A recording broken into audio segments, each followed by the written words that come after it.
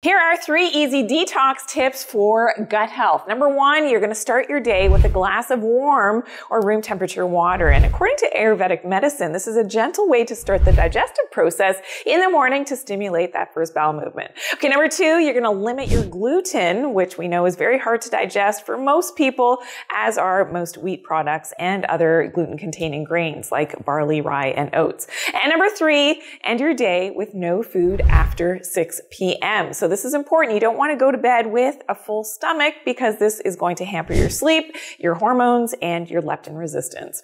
Follow for more natural health tips.